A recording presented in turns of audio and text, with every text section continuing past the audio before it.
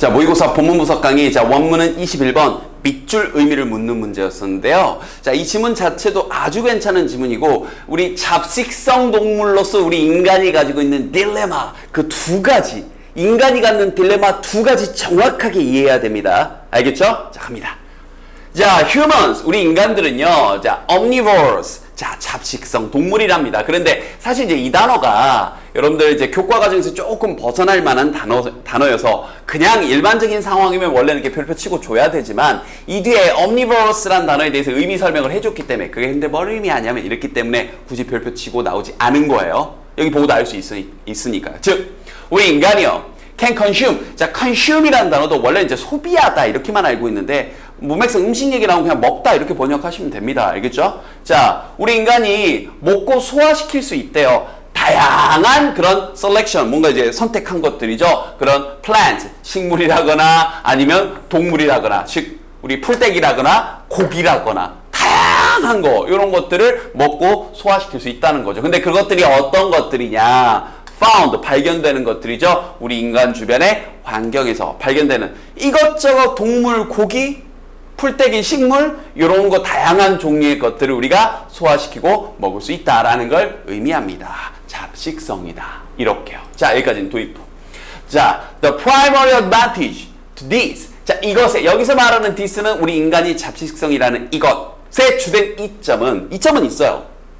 They can adapt. 이때 이제 they도 우리 인간, 우리 인간이 단어 조심할까요? adapt는 언제나 어디 어디에 적응하다라는 건데 adopt는 채택하다, 입양하다. 구별 똑바로 하셔야 됩니다. 알겠죠? 이런 것들을 학교 선생님께서 내기 너무 좋아하세요. 자, 거의 이 지구상의 환경에서 earthly 하게 되면 이제 물론 이제 도대체 이런 뜻으로도 쓰이는데 있는 그대로 그냥 지구상의 이런 뜻도 돼요.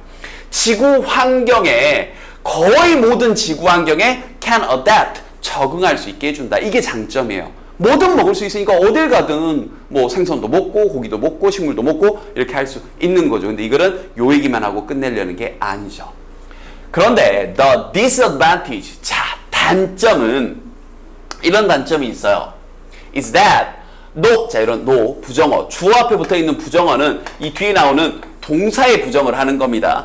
그러니까 단한 하나의 단일 어떤 식품 고기면 고기 식물이면 식물 그죠? 뭐 생선이면 생선 단일 식품 그 하나만이 no provides 이렇게 제공해 주지 못합니다. the nutrition 그런 영양소를요. 그런데 뒤에서 꾸며주고 있는 거죠. 그 영양소가 어떤 영양소냐면 necessary for survival 우리 인간의 생존에 필수적인 영양소를 하나의 음식만으로는 제공할 수가 없습니다. 이게 문제인 거예요.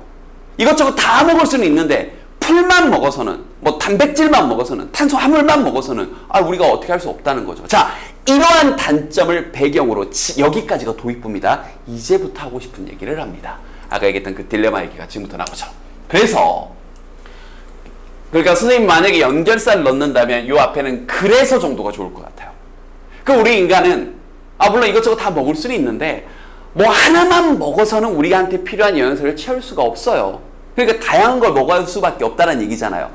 그래서 인간은 반드시 자 요런 것들 핵심어들 flexible 뭔가 유연해야 됩니다. 이것저것 다 먹을 수 있어야 되는 거죠. 뭐 할 만큼 충분히 자 다 먹을 수 있어야 되냐면인데 이건 어휘도 중요하고 동시에 문법도 중요한 게 이 뒤에 동일한 구조로 또 여기 뒤에 보면 또 여기 cautious enough not to 여기는 어휘와 문법이 동시에 중요한 파트입니다. 그래서 이 문장 자체는 왕별 쫙 달아주고요. 자 일단 문법적인 거 먼저 잡아드리면 우리말로 이 enough란 단어가 명사를 꾸미나, 꾸며줄 때는요. 이렇게 우리말하고 똑같이 쓰여요. 뭐뭐 할 명사, 뭐 to부정사 할 만큼 그러면 자 뭐뭐 할 명사, to부정사 할 만큼 충분한 명사 이러면 되죠. 자 다시 한번 enough가 충분하니까 충분한 명사, to부정사 할 만큼 이건 이렇게 쓰이면 됩니다. 문제는 enough가 형용사를 꾸며줄 때는 우리말과는 달리 형용사 뒤로 간다고요. 이렇게. 이렇게요.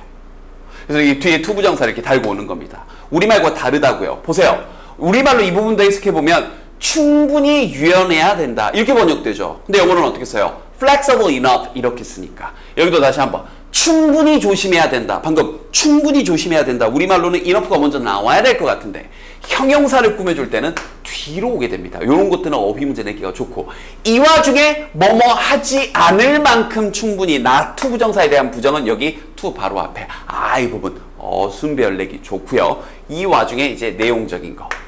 자 이게 딜레마인 거예요. 동시에 우리 인간이 겪는 다시 한번 첫 번째 하나만 먹고는 어떻게 버틸 수가 없으니 유연해야 되겠죠. 충분히 유연해야 되죠. To eat a variety of items. 다양한 이런저런 것들을 먹을 수 있는. 근데 그게 뭐한 다양한 것들이냐면 uh, sufficient, 필수적인 것들이죠. For physical growth. 우리 신체적인 성장과 maintenance, 유지를 위해 필수적인 그런 다양한 아이템들, 이제 음식이라고 의역을 할게요. 음식들을 먹을 만큼 충분히 뭐 해야 된다? 유연해야 된다. 해석 똑바로 천천히 해보세요. 그러나 동시에 cautious 또 조심도 해야 돼요. 뭐할 만큼 충분히 조심해야 되냐면 not to randomly ingest food 이때 이제 또 섭취하다 컨슘과 유사해요. 어떤 음식을 랜덤으로 마구잡이로 먹지 않을 만큼 충분히 또 조심해야 됩니다. 근데 그게 어떤 음식이냐? 자, 어, 이 생리학적으로 즉 신체적으로라고 의역해도 좋아요. 생리학적으로 해롭고 아마도 그래서 심지어 뭐 할 가능성도 있냐면 fatal 치명적일 수도 있는 어, 저희 단어 조심 때 파탈 아니고 fatal 치명적일 수도 있는 그러한 음식을 마구잡이로 랜덤으로 무작위로 먹지 않을 만큼 충분히 조심해야 되기도 합니다. 자 다시 한번 부연 설명 좀 해줄게요. 우리 인간이 단 하나의 음식만 먹고 살 수는 없으니 이것저것 다 먹어봐야죠. 충분히 유연하기도 해야 되지만 먹다 독버섯 먹으면 어떡해요. 그죠? 썩은 거 먹으면 어떡해요. 그래서 탈라면 어떡합니까? 그래서 동시에 좀 조심도 해야 되는 자 이게 바로 이 다음 문장에서 얘기하는 우리 잡식 동물의 딜레마인 거죠. This dilemma, 이 딜레마는 그럼 다시 한번 이 앞문장에 나왔던 그 딜레마를 또 이번에는 이렇게 멋지게 표현을 했어요. 보세요.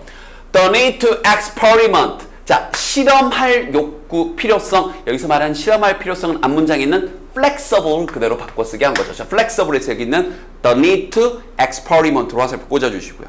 이게 같은 말이에요. 유연한 거, 실험할 어떤 필요성. 근데 그 실험할 필요성이 뭐와 더해져 있냐? combined. 자, 뭐뭐와 더해진. 여기 수동 걸려 있고요. 뭐와 더해진 거냐면 바로 the need, the need for conser, 자, conservatism. 보수적인 것에 대한 필요성. 여기서 보수적인 건 앞문장에 있는 그렇죠. cautious를 바꿔 쓰게 한 거죠. 됐나요? 어, 이런 것도 시험 되는 게 좋겠죠. 이러한 딜레마가 뭐라고 알려져 있냐? be known as 뭐뭐로 알려져 있다. 이렇게. 그래서 여기가 주어고 여기가 동사입니다. 여기 중간에 낀 거예요, 지금. 이 딜레마, 즉, 이게 부연 설명 껴 있는 겁니다. 자, 뭐라고 알려져 있냐? 그리고 이제 원문에서는 여기 밑줄이 쳐져 있었죠? 바로, 자, 잡식 동물의 paradox, 역설이다.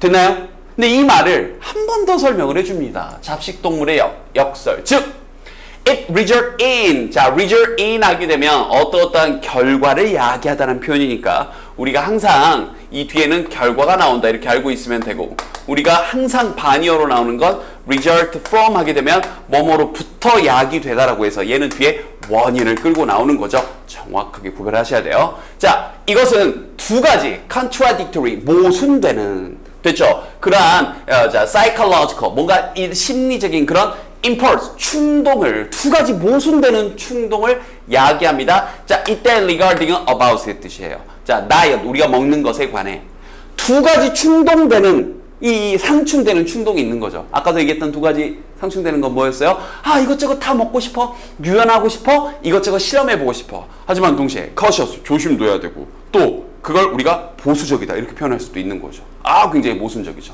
그 말을 또 이렇게 바꿔 쓰게 했어요. The first 그러니까 첫 번째는 판단해 보세요. 이 부분. attraction 자 끌리는 건데 to new foods 새로운 음식에 끌리는 것 이건 앞에 나왔던 뭐랑 같은 말이에요. flexible 그렇죠? 그 다음에 experiment 실험하는 거 새로운 음식에 끌리는 거. 자 이게 이쪽 계열인 거고. 그 다음 the second 두 번째는 바로 선호인데 자 familiar food 자 이렇게 갈게요. 자, a preference for familiar food. 우리에게 익숙한 것에 대한 선호. 이건 앞에 나왔던. 그렇죠. 자, 원래 하던 것만 하고 좀 조심하는 거, cautious 하는 거. 그죠? 그 다음에 conservatism, 뭔가 보수적이 되는 거. 그리고 여기 나왔던 익숙한 것에 대한 선호. 이렇게요. 그럼 요 두 가지 딜레마, 이 부분 시험지 내기 너무너무 좋습니다. 두 번, 세 번 꼼꼼히 읽고 내용 파악 똑바로 하셔야 문제를 볼 수 있어요. 복습, 또 복습. 됐죠?